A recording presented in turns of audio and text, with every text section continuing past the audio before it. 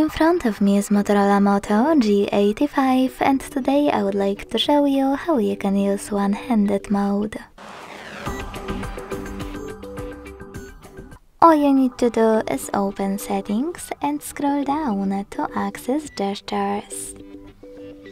Then tap on one-handed mode and if you are using gesture navigation, use this switcher next to use one-handed mode to activate it.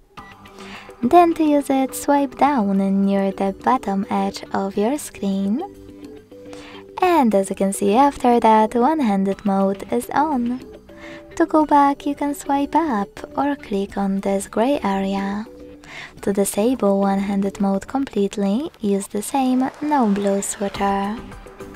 If you are using Tricky's navigation, you can use one-handed mode by tapping on this switcher next to one-handed mode shortcut, selecting Got it, and tapping on accessibility button every time you want to use this mode.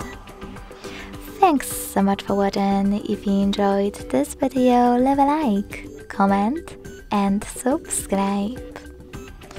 Bye!